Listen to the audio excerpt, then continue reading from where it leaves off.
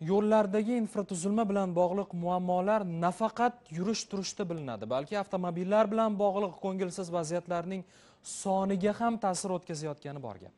Ammo ba'zidan o'zboshimchalik ortidan haydovchilar og'ir holatlarga duch kelayotgani ham haqiqat.